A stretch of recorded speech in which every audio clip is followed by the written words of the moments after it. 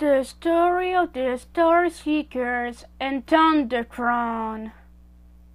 The Star Seekers are a faction of Transformers, not affiliated with the Autobots or Decepticons, but this is but it's rather a faction of space pirates.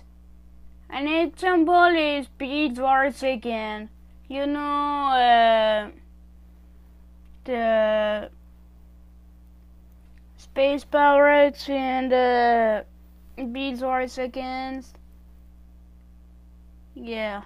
Similar to those from Legends, but more like those from Assassin's Creed 4 Black Flag.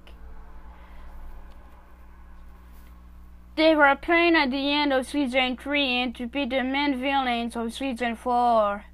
Among them was Thundertron who was rumored and almost appeared in the Transformers Prime show before the show's cancellation.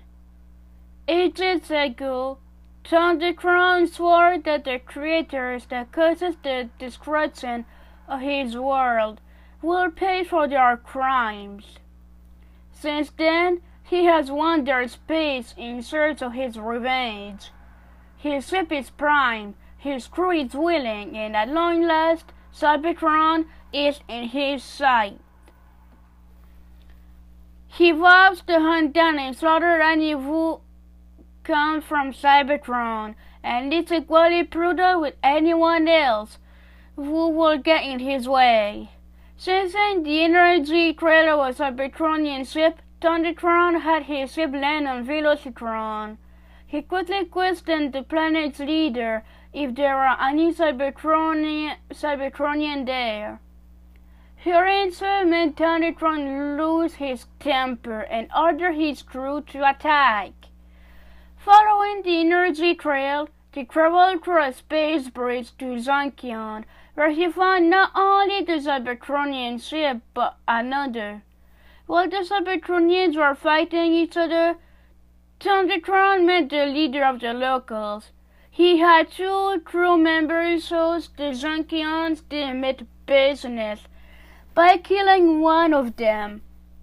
As soon as the space bridge was attacked, he ordered the Star Seekers to attack the Cybertronians. Sometime after, sometime after the battle on Zonkion, Thundertron and the Star Seekers examined the ruse to trap the Decepticons and to wipe out the Nemesis with their cream Blaster. Megatron and the pirate leader came to a stalemate in hand-to-hand combat, while the Nemesis overwhelmed the tidal wave, forcing the pirates to retreat. Optimus Prime and the Earth Protection Task Force unsuccessfully attempt to catch the Star Quest and Thundertron.